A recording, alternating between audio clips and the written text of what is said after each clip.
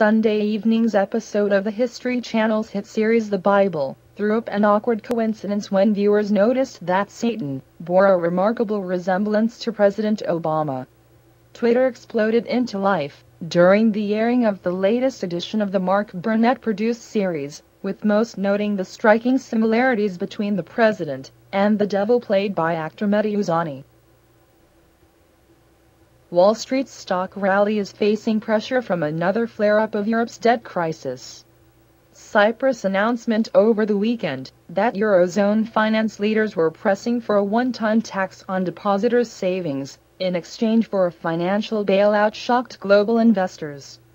The proposal to have Cyprus savers share the financial burden of a bailout adds new elements of uncertainty and unpredictability to Europe's debt crisis.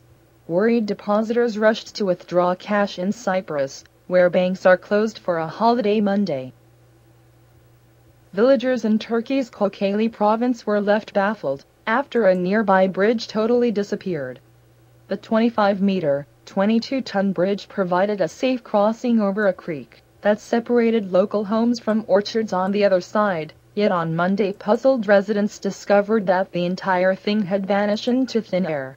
Authorities soon determined that the bridge had been cut into pieces and loaded onto the back of a truck by thieves who hoped to sell it as scrap metal. The Russian Navy will maintain five to six warships in the Mediterranean Sea as a task force to defend Russia's interests in the area, Navy Commander Admiral Viktor Chirkov said on Sunday. Up to five or six warships must be present in the Mediterranean Sea on a permanent basis and control must be exercised through the command of the Russian Black Sea Fleet. I have this story uploaded on my channel if you wish to learn more.